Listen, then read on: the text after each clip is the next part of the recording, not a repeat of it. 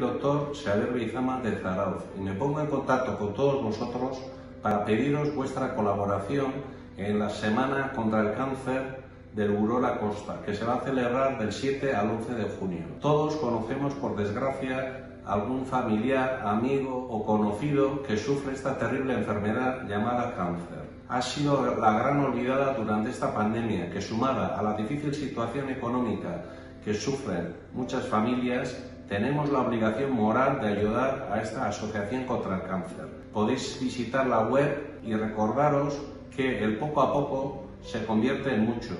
Es que